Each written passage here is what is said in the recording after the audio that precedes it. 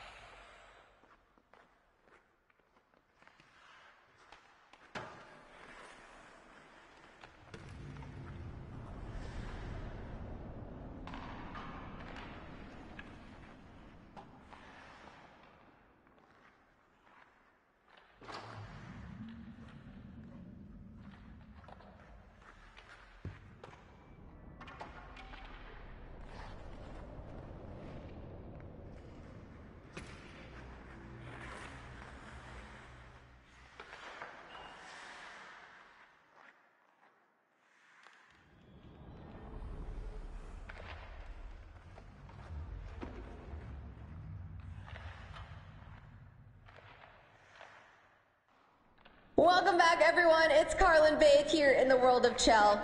I love how active this community has been on social media, posting game highlights, customized kit designs, and really promoting the game of hockey.